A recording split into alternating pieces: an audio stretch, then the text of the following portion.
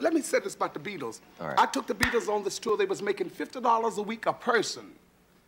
God bless the Beatles, and he did. I used to have to buy their steaks every day when we had steak.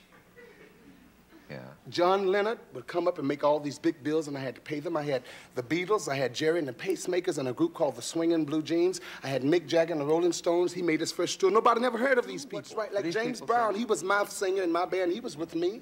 Yeah. Joe Tex was my singer. Otis Reddings. Jimi Hendrix was my guitar player for four years. And, and- but you never Right. hear about all of this from me. You know, everybody said, well, what did he do? I did it all, but don't nobody know nothing about it.